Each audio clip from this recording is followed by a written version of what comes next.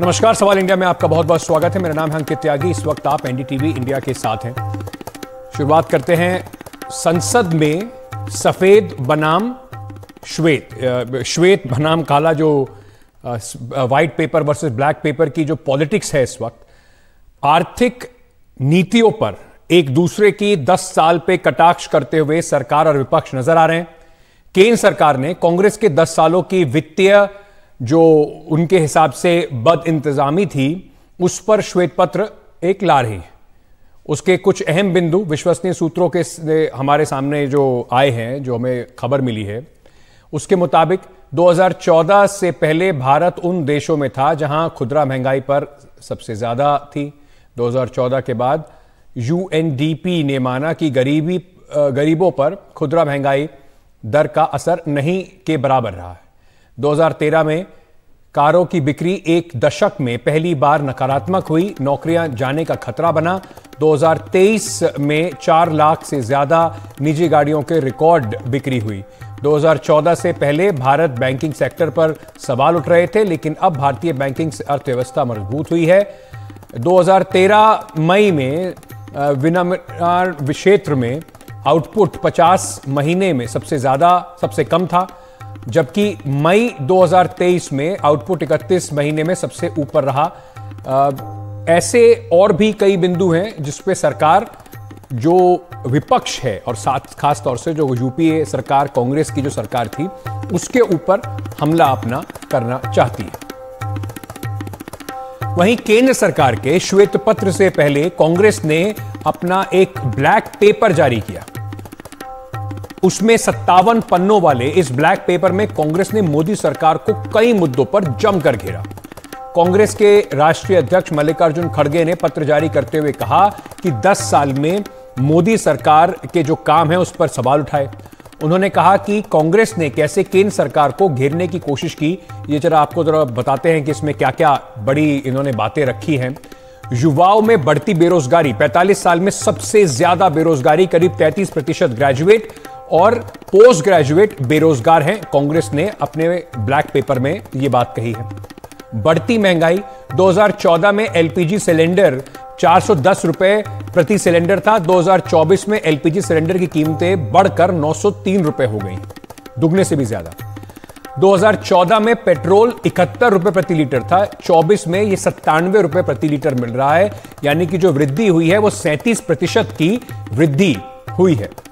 किसानों को इसमें संकट बताया गया है। तीन कृषि कानूनों का ज़िक्र करते हुए जो वादे पूरे सरकार में कहे थे कि एमएसपी का लागू करेंगे अभी तक, वो वादे पूरे नहीं हुए हैं। इसका आरोप लगाया गया है।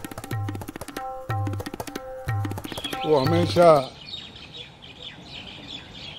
अपनी बात को पार्लियामेंट में जब रखते हैं तो बार बार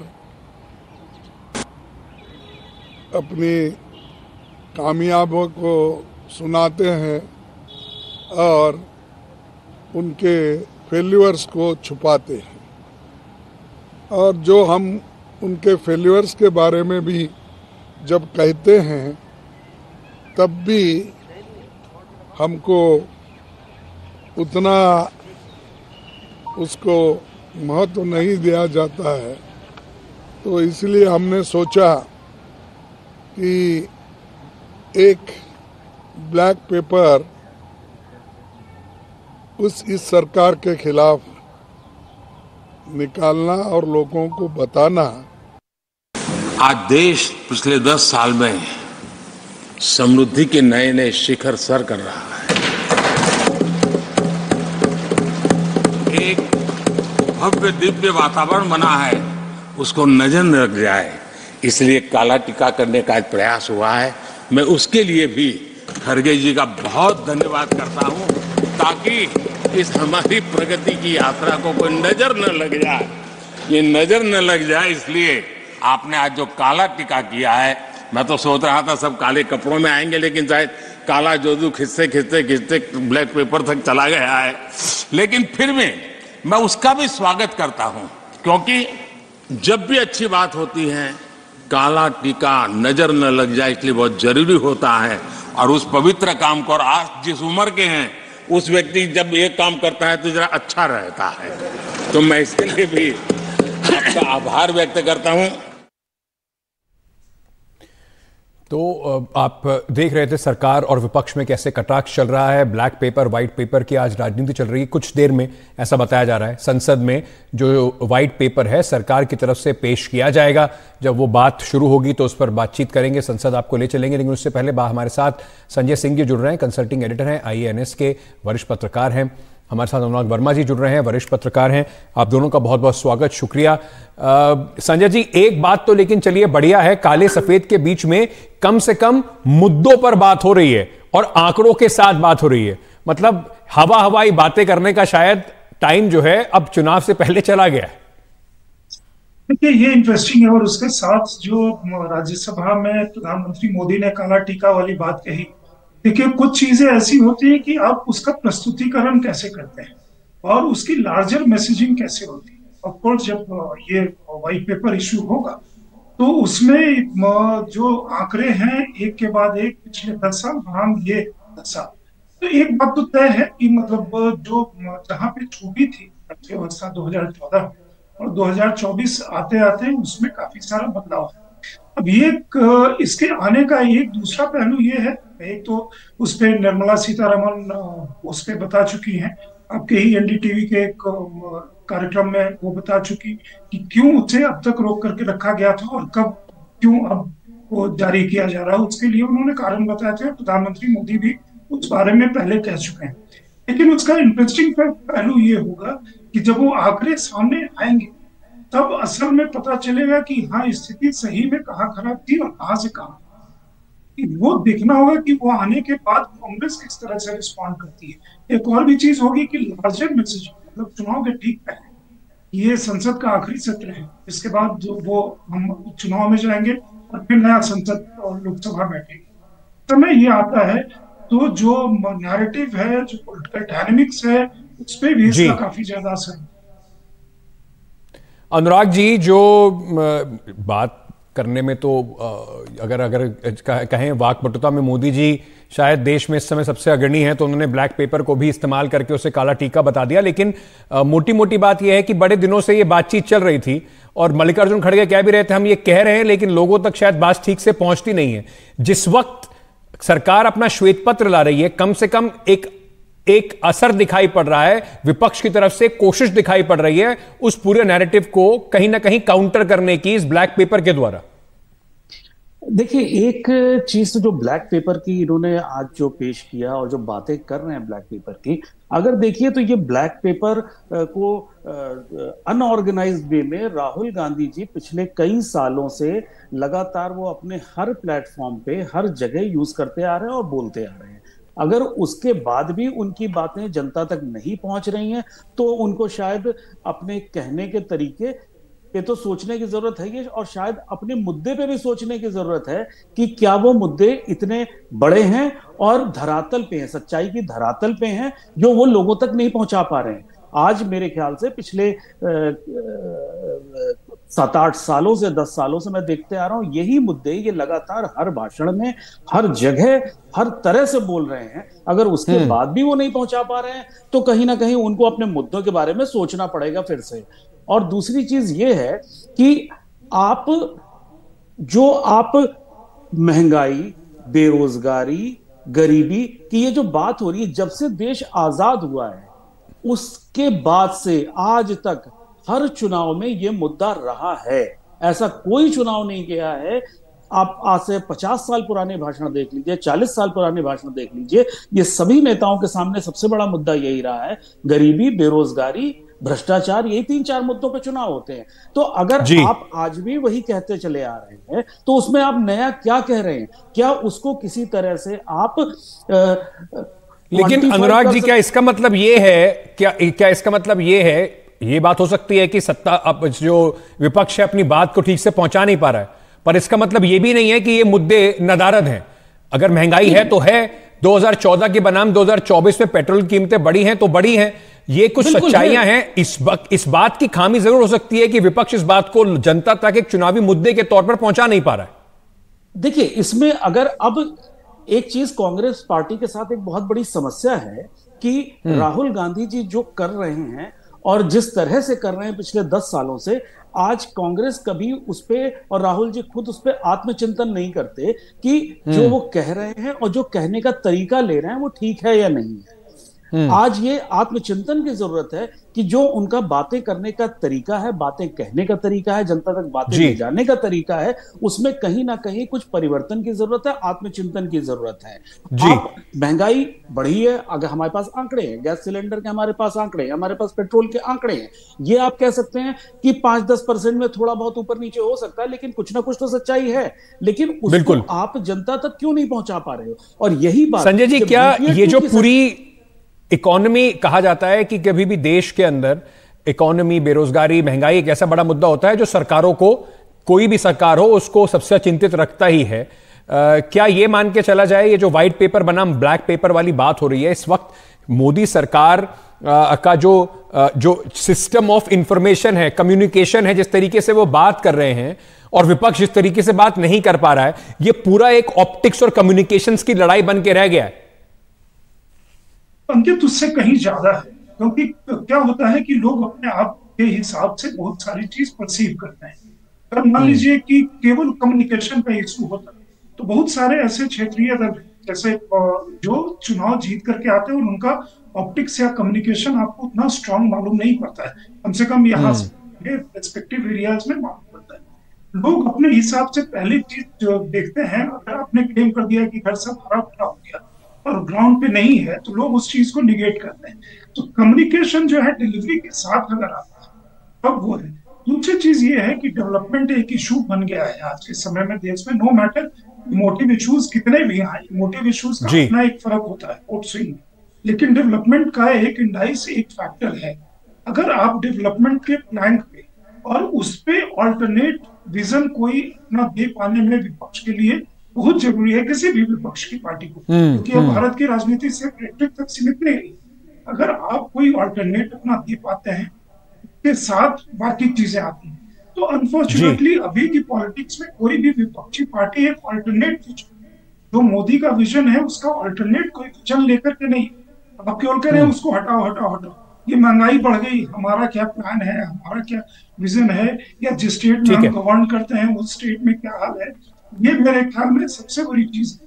और आज जो ब्लैक यानी कि मोटी बात 2024 के चुनाव से पहले जी मोटी बात 2024 के चुनाव से पहले यही है कि सिर्फ़ मोदी हटाओ से काम नहीं चलेगा मोदी हटाकर आप करेंगे क्या? जनता को कम से कम उसका भी विश्वास दिलाना पड़ेगा। और अगर ज़मीन पर बेरोजगारी और इतने बड़े बड़े मुद्दे हैं जिससे लोग परेशान हैं और विपक्ष उन मुद्दों को नहीं पहुँचा पा रहा है तो कहीं ना कहीं ये विपक्ष के लिए क्रेडिबिलिटी क्राइसिस के तौर पर भी आ, सामने नज़र आएगा। संजय जी बहुत बहुत शुक्रिया हमारे साथ जुड़ने के लिए। अनुराग जी आपका भी शुक्रिया। धन्यवाद। हमारे साथ जुड़ने के लिए थोड़ी देर में पार्लियामेंट चलेंगे जब ये पूरा श्वेत पत्र जो है सरकार की तरफ़ से लाया जाएगा। तब से, उससे पहले एक सूत्रों के हवाले से बड़ी खबर जो आ रही है, उसके बारे में जरा आपको बता दें। कांग्रेस ने समाजवादी पार्टी अध्यक्ष अखिलेश यादव को चिट्ठी लिखकर उत्तर प्रदेश में 20 लोकसभा सीटें मांगी हैं। सूत्रों का कहना है कि कल यह चिट्ठी कांग्रेस की तरफ़ से भेजी गई है। इस चिट्ठी में उम्मीदवारों के नाम नहीं है, सीटों के नाम दिए गए हैं। वहीं जनवरी में अखिलेश यादव 11 सीट ट्वीट करके अपनी तरफ़ से कांग्रेस को दे चुके हैं। वहीं समाजवादी पार्टी 18 सीटों पर उम्मीदवारों की घोषणा भी कर चुकी है। तो ऐसे में एक तरफ़ पूरी ये चल रही है तो सबसे पहले जरा अखिलेश यादव को सुन लेते हैं और उसके बाद फिर इस पर थोड़ी चर्चा और करेंगे। राहुल गांधी ने कहा है राहुल गांधी ने कहा है। देखिए जीत ही देखिए 20, 25, 30 कोई सीमा नहीं है। 50 हम तो कहते अस्सी। सवाल ये कि जीत का ये गठबंधन है। अगर मेरा कोई साथी जीत रहा है तो उस, उसको मौका मिले। अगर आपका कोई साथी समीकरण के हिसाब से जीत रहा है तो आपको मौका मिले। इसमें कहीं कोई दुविधा नहीं है। जीत ही गठबंधन है। और उत्तर प्रदेश नहीं, देश की जनता भी यही चाहती है कि वही चुनाव मैदान में आए, जनता के बीच में जो जीत सके। जब बीजेपी समीकरण बना रही है। सोचिए, समीकरण नहीं बनाती बीजेपी। मेरे सहयोगी रणवीर इस वक्त हमारे साथ जुड़ रहे रणवीर, ये जो बात हो रही है 20 सीटों की डिमांड ये उस वक्त हो रही है जब जो इंडिया का कुनबा है उत्तर प्रदेश में, वो जुड़ने की जगह सिकुड़ता नज़र आ रहा है। बात हो रही है कि आरएलडी भी पूरा छोड़ के जाने की तैयारी में बैठी हुई है बीजेपी की तरफ़। तो ऐसे में अखिलेश यादव ने कहा तो जीत का सिलसिला, लेकिन कांग्रेस क्या ट्रैक रिकॉर्ड लेके जाएगी बीस दिखाने के लिए? देखिए, जब जब दबाव हो रहा है, तब तब लोग मौके पे चौका मार रहे हैं। इससे पहले जब अखिलेश यादव को लगा कि कांग्रेस दबाव में है, क्योंकि बंगाल में गठबंधन टूटता दिखा, बिहार में टूट गया, नीतीश कुमार भारतीय जनता पार्टी के साथ चले गए तो अखिलेश यादव ने पोस्ट करके कहा कि कांग्रेस को 11 सीटें हम दे रहे हैं। और उसके ठीक अगले दिन 16 प्रत्याशियों की एक सूची जारी कर दी और कहा कि यहाँ यहाँ से हमारे प्रत्याशी लड़ेंगे। अब कांग्रेस ने मौका देखा है क्योंकि अखिलेश यादव के पुराने सहयोगी हैं। 2022 में भी विधानसभा चुनाव मिलकर लड़े थे जयंत चौधरी। उनकी आरएलडी अब भारतीय जनता पार्टी के संपर्क में है सीटों को लेकर बातचीत चल रही है और जब ये खबरें बाहर आई तो कांग्रेस ने मौका देखा कि अब अखिलेश यादव पर दबाव है और इसलिए कांग्रेस ने एक चिट्ठी लिखी। अखिलेश यादव के आ, मैं दफ्तर पे ही खड़ा हूँ तो यहाँ इस दफ्तर पे चिट्ठी पहुँच चुकी है। कल शाम को अखिलेश यादव चूँकि आज बनारस में है और बनारस में होने की वजह से अखिलेश यादव फ़िलहाल जो है उस चिट्ठी पर डिस्कशन नहीं कर पाए, लेकिन आगे की जो बातचीत होगी, उस बातचीत में ये माना जा रहा है कि कितनी सीटों पर कांग्रेस को सीटें दी जाए गठबंधन में, इस पर चर्चा होगी। क्योंकि समाजवादी पार्टी ने कांग्रेस को साफ़ कर दिया था कि अगर आपको ज़्यादा सीटें चाहिए तो आपको प्रत्याशियों के नाम बताने होंगे। और बताना होगा कि क्या समीकरण होंगे कि कांग्रेस का प्रत्याशी जीत सकता है। अब कांग्रेस ने प्रत्याशियों का नाम नहीं दिया है, सिर्फ़ सीटों का नाम दिया है। जो सूत्र बता रहे हैं, इसमें कुछ सीटें हैं, जिसमें लखनऊ है। राजनाथ सिंह यहाँ से सांसद है, केंद्रीय गृह मंत्री हैं, पुराने नेता और लखनऊ भारतीय जनता पार्टी का बहुत पुराना गढ़ है, अटल जी भी यहाँ से सांसद थे। बगल में रायबरेली और अमेठी चूँकि कांग्रेस के लिए हमेशा समाजवादी पार्टी ये दोनों सीटें छोड़ती है तो ये तो लाजमी है कि गठबंधन में दोनों सीटें कांग्रेस के पास जाएँगी। फिर सुल्तानपुर। सुल्तानपुर से मेनका गांधी है वहाँ भी कांग्रेस दावा कर रही है। इसके अलावा झांसी है सहारनपुर है फिर देवरिया है जहाँ से अखिलेश सिंह है कांग्रेस के नेता महाराजगंज है जहाँ सुप्रिया श्रीनेत है। तो ऐसे तमाम जो कांग्रेस के नेता है उनका नाम लेकर के समाजवादी पार्टी चाहती है कि कांग्रेस बताए कि उनके कौन कौन से लोग हैं जो चुनाव जीत सकते हैं। तो 20 सीटों का नाम देकर के कांग्रेस ने कहा है कि समाजवादी पार्टी गठबंधन में उनको 20 सीटें दे। अब आरएलडी साथ छोड़ती दिख रही है और आरएलडी अगर भागती है तो ज़ाहिर है कि सपा पर भी एक दबाव होगा और उसी दबाव का फ़ायदा लेने के लिए कांग्रेस ने चिट्ठी लिखी है। जी। इस बीच बातें हो रही हैं कि अगर आरएलडी जाती है तो बीएसपी को साथ लाया जाए। बहन जी पहले ही कह चुकी हैं, हम अकेले चुनाव लड़ेंगे। तो उत्तर प्रदेश की 80 सीटों के लिए ज़बरदस्त इस वक्त समीकरण बनते बिगड़ते नज़र आ रहे हैं। रणवीर बहुत बहुत शुक्रिया हमारे साथ जुड़ने के लिए। एक छोटा सा ब्रेक ले रहे हैं। ब्रेक के बाद वापस आ रहे हैं। बने रहिए हमारे साथ। जाने से पहले आपको बता दें कि चुनाव आने वाले हैं और इस बार देश का भविष्य चुनने में बड़ी संख्या में 18 साल और उससे ऊपर के नौजवान पहली बार अपना वोट डालेंगे। आप लोग क्या सोचते हैं? क्या हैं आपके मुद्दे और कौन सी बातों पर आपके लिए सबसे अहम है। हम जानना चाहते हैं, देश जानना चाहता है। आपका वोट, आपकी उम्मीद, आपकी आवाज़ भेजिए अपने वीडियो एनडीटीवी.com पर और स्लैश एटीन का वोट, और हम दिखाएँगे उसे अपने चैनल पर।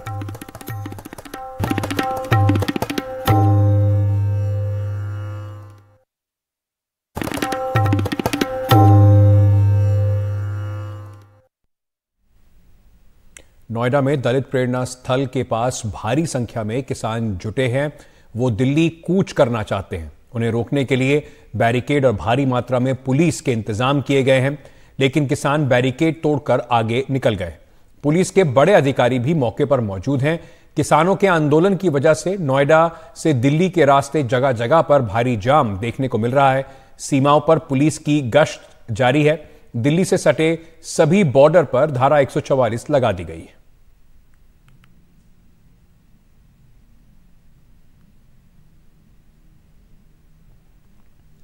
मेरे सहयोगी अश्वनी इस वक्त हमारे साथ जुड़ रहे हैं।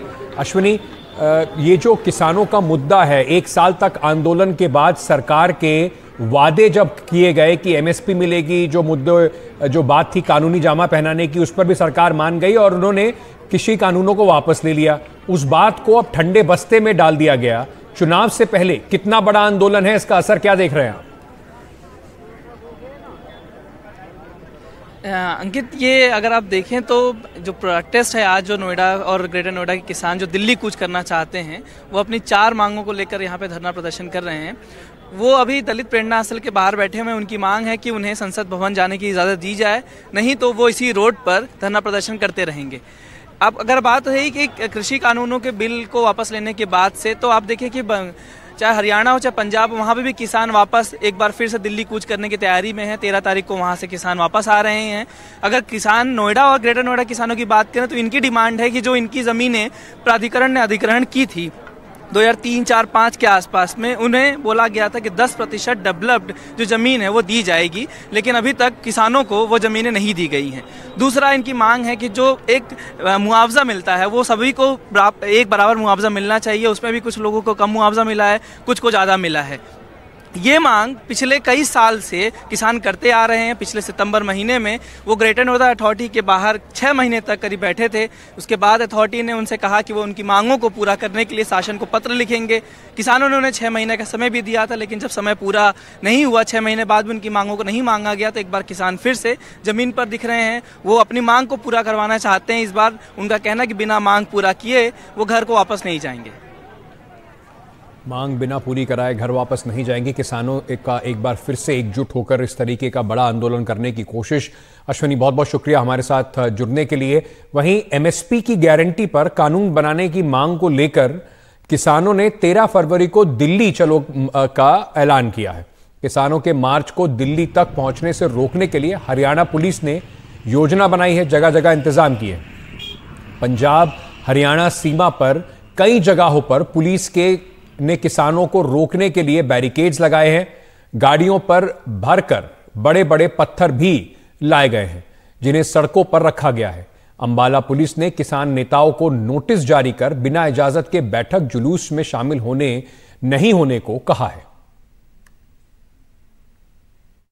साल 2020 की तरह फिर से एक बार पंजाब और हरियाणा के कई किसान यूनियन जो हैं 13 फरवरी को पंजाब और हरियाणा से दिल्ली की तरफ़ कूच करेंगे। इस वक्त हम शंभू बॉर्डर पर खड़े हैं। शंभू बॉर्डर एक अंतर्राज्यीय सीमा है पंजाब और हरियाणा की।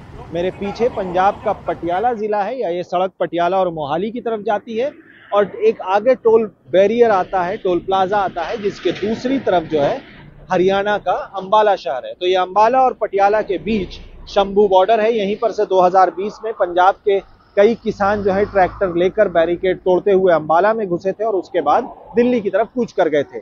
इस बार दोबारा से 13 फरवरी को कुछ किसान संगठन पंजाब और हरियाणा के जो हैं, वो 13 फरवरी को दिल्ली जाना चाहते हैं। उनकी मांगे अब कम व बेशतर वही हैं जो 2020 में हुआ करती थी कि किस तरह से एमएसपी को एक कानून बनाया जाए इलेक्ट्रिसिटी अमेंडमेंट बिल को वापस लिया जाए लखीमपुर खीरी के किसानों की को इंसाफ दिया जाए फ़सलों पे गारंटी हो किसानों की पेंशन की भी बात है उनकी आमदनी बढ़ाने की भी बात है। लेकिन इसी बीच हरियाणा पुलिस ने आ, किसानों को खास करके वार्निंग भी दी है कि इस तरह के प्रदर्शन में हिस्सा ना लें।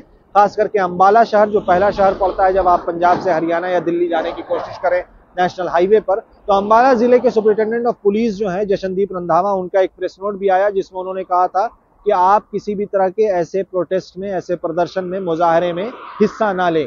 सोनीपत की बात करें, जो आखिरी जिला पड़ेगा, दिल्ली इंटर करने से पहले तो वहाँ पे पहले से धारा 144 लगाई जा चुकी है। अब मैं दिखाना चाहूँगा कि शंभू बॉर्डर पर, जहाँ से किसानों को पंजाब से हरियाणा जाना है, वहाँ पर किस तरह की तैयारियाँ हो रही है? हालाँकि, पुलिस या यहाँ के जो अधिकारी हैं, वो ये तो कह रहे हैं कि बॉर्ड, इस हाईवे पर जो है, कंस्ट्रक्शन का काम है, इसलिए बड़े बड़े पत्थर जो है, लाए गए हैं।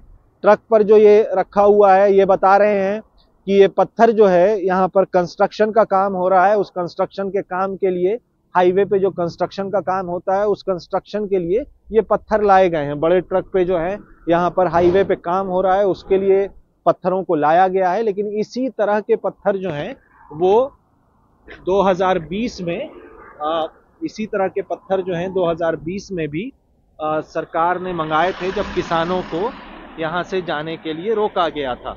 तो आप देख सकते हैं कि यहाँ पर बड़े बड़े पत्थरों को रखा गया है, अक्सर रखा जाता है यहाँ पर कंस्ट्रक्शन के लिए, लेकिन इस वजह से किसानों को कहना, यहाँ पर लोगों का जो कहना है कि जो कंसर्न अधिकारी हैं कि ये किसानों को रोकने के लिए नहीं लाया गया है, यहाँ पर मुरम्मत का काम चल रहा है, इसलिए ये लाए गए हैं। अब देखना होगा कि तेरह फरवरी को सरकार क्या फोर्स के साथ उनको रोकने की कोशिश करती है या नहीं। यहाँ पर क्रेन भी आ गया है और इन इन बाउल्डर्स को हटाने की भी कोशिश शायद अब की जाएगी। आपको क्रेन भी दिखा देते हैं एक तरफ़।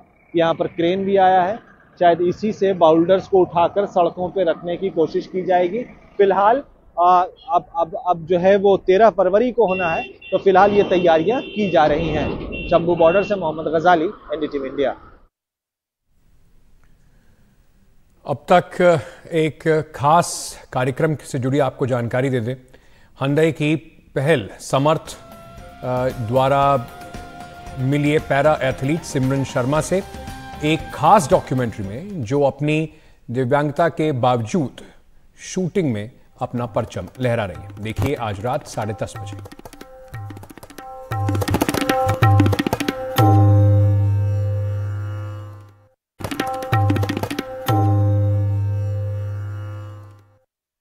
इन्फोर्समेंट डायरेक्टरेट ने कांग्रेस एमपी धीरज साहू को समन जारी किया है।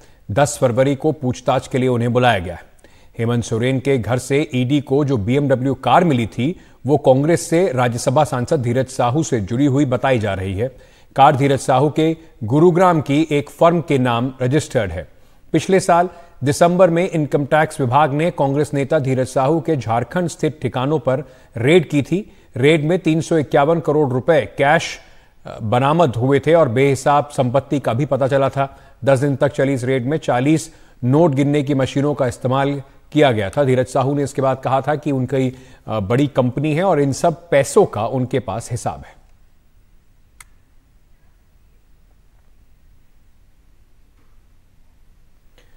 चलिए इस वक्त एक खबर आ रही जम्मू कश्मीर से। जम्मू कश्मीर के बाल्टाल में बर्फीले तूफ़ान से जोजिला सुरंग के पास एक ज़बरदस्त तूफ़ान आया है।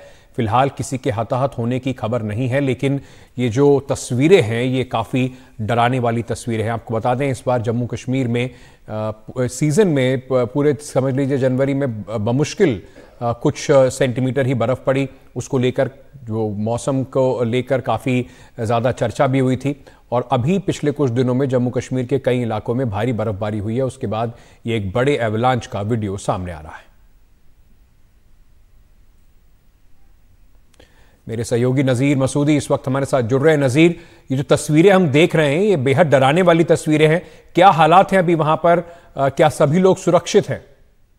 जी आ, किसी भी नुकसान की अभी कोई इतला नहीं मिली है लेकिन एक बहुत ही बड़ी स्नो एलॉन्च थी। जैसे आप देख सकते किस तरह पूरी